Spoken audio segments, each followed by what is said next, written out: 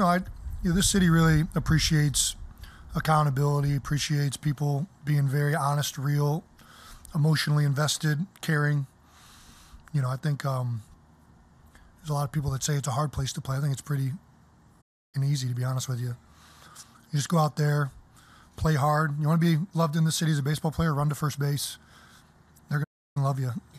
I mean, that's what it comes down to. I mean, if you go up here and make a bunch of excuses, you come up here and try and lie to them and act like they don't know what they're talking about, which sometimes they don't, but that's when you when you really uh, when you act that way, or when you uh, you know aren't accountable if you're making mistakes or you're not uh, getting better or anything like that. You know they're gonna crush you, and um, that's most of the guys that I see that everybody's gonna get crushed at some point.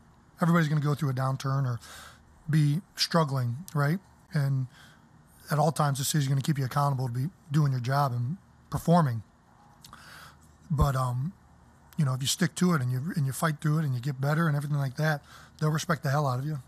Especially if you fight, even even if you're struggling and you're fighting and you're really trying, they're still going to respect you. And um, that's what I think most guys miss. You know, I think that, you know, I, I really don't think this is a hard place to to play at all. To be honest with you, I, I think a hard place to play is, I don't want to.